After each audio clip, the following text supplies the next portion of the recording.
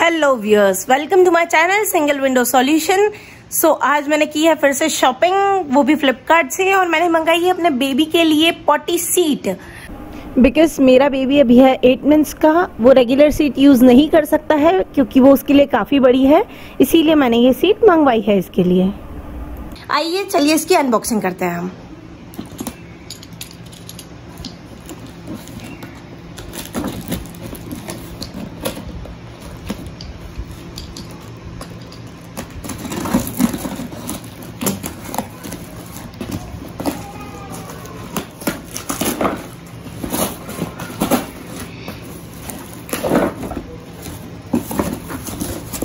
ये रही हमारे बेबी की पॉटी सीट ये रहा हमारे बेबी की पॉटी सीट का कवर कवर तो बड़ा अच्छा है.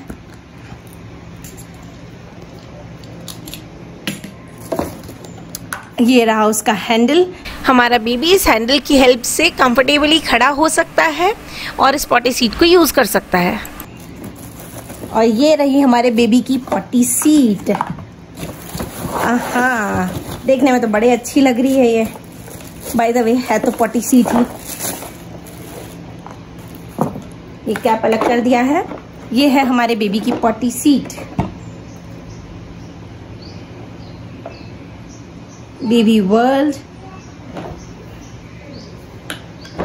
और ये है इसकी बैक साइड प्लास्टिक तो काफ़ी अच्छी है इसकी। हल्की सस्ती नहीं है इसकी प्लास्टिक और ये वो जगह है जहाँ पर हमारा बेबी पॉटी करेगा। और इसको क्लीन करने के लिए जैसे ही हमारा बेबी पॉटी सुसु कर लेता है, इसे हम ट्रे को ऐसे रिमूव कर सकते हैं। रिमूवेबल ट्रे है ये।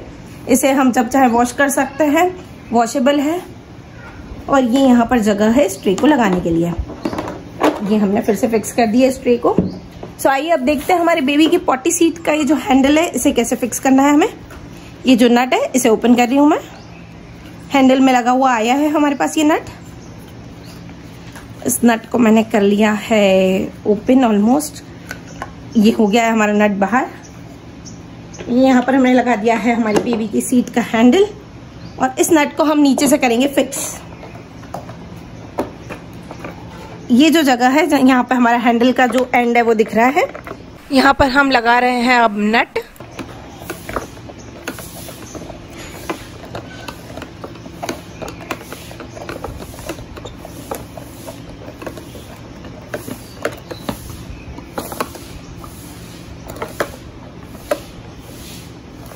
ये बिल्कुल अच्छे से हो गया है फिक्स ये हमारी पॉटी बेबी की पॉटी सीट का बैक है और ये ऐसे खड़ी हो गई हमारी बेबी की पॉटी सीट और मुझे ये प्रोडक्ट पर्सनली काफ़ी ज़्यादा पसंद आया है अपने बेबी के लिए और मुझे अभी तक इस प्लास्टिक में कोई इश्यू नहीं लग रहा है लाइक कोई चुभन टाइप की कोई चीज़ है नहीं इसमें जो बेबी को इरिटेशन होगा जिससे स्किन में.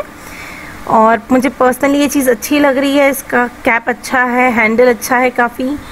इसकी जो ट्रे है वो भी काफ़ी अच्छी है। और दिखने में तो डेफिनेटली काफ़ी अच्छा लग ही रहा है। देख सकते हैं आप। तो आइए, अब मैं आपको अपने बेबी को इस पर बिठाकर दिखाती हूँ कि वो कितना एंजॉय कर रहा है, इस पर कितना कंफर्टेबल है। ये आ गई हमारी पट्टी सीट और ये आ गया है हमारा बेबी पहले मैं कैप हटा रही हूँ। ये मैंने कैप हटा दिया है सीट का और ट्रेप अंदर कर दे रही हूँ। वो बाहर हो गई थी थोड़ी सी तो। अब ये मैंने सीट सीधी कर दी है और ये मैंने बिठा दिया है अपने बेबी को, पूर्वांश को। देखिए वो कितना अच्छे से देख रहा है अभी हमें। एल्स अगर उसे कोई चीज़ पसंद नहीं आती है तो वैसे ही वो रोने लगता है। स्माइल कर रहा है मतलब पसंद आया है। मुझे तो बस यही पता है कि जब पूर्वांश हंसा, इसका मतलब वो फंसा।